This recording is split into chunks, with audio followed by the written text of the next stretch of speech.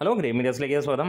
ബോഗൻ വെല്ല ഇറങ്ങി രണ്ടാം ദിവസവും മികച്ച പ്രതികരണം തന്നെയാണ് സിനിമയ്ക്ക് വരുന്നത്. ആദ്യ ദിനം സിനിമ ആയിരത്തി എൺപത്തിരണ്ട് ഷോകളിൽ നിന്നായി നേടിയത് രണ്ട് കോടി അൻപത്തി എട്ട് ലക്ഷം രൂപയ്ക്ക് മുകളിലാണ് ട്രാക്കേഴ്സ് മുഖാന്തരം വന്നത്. അതായത് ഫൈനൽ ഗ്രോസ് വന്നത് മൂന്ന് കോടി അഞ്ച് ലക്ഷം രൂപയ്ക്ക് മുകളിലാണ് എന്നുള്ള സന്തോഷ വാർത്തയാണ്.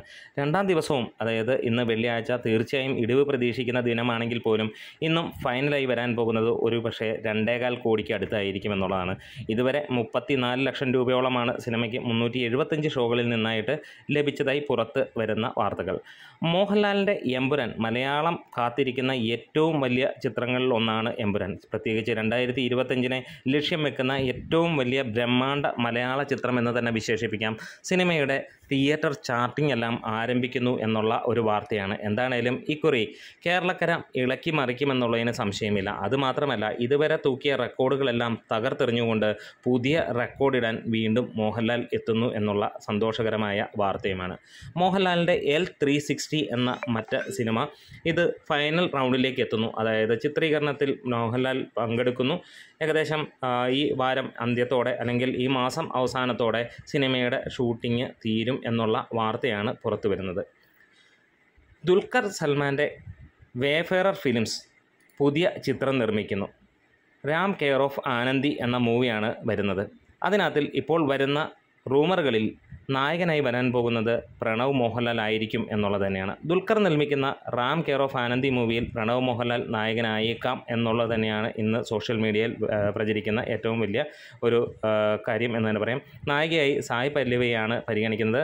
പടം നവാഗതനായ നവാഗത സംവിധായിക അനുഷ പിള്ളയാണ് സംവിധാനം ചെയ്യാൻ പോകുന്നത് എന്നുള്ളതാണ് നമ്മൾ കേൾക്കുന്ന വാർത്തകളിൽ.